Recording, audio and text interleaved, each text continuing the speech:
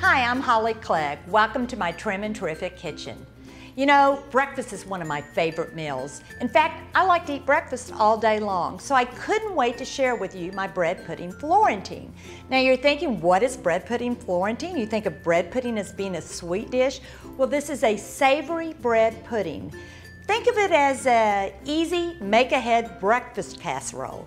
So it has all the components of a morning breakfast in a make-ahead breakfast casserole.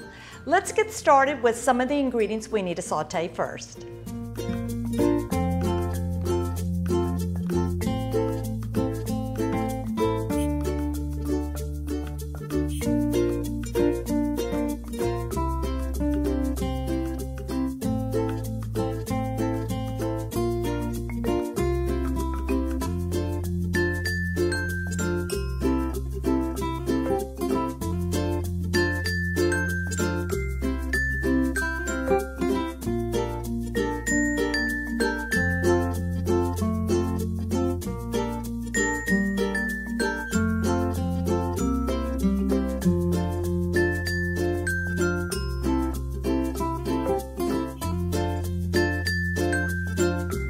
I know you're going to enjoy this bread pudding Florentine.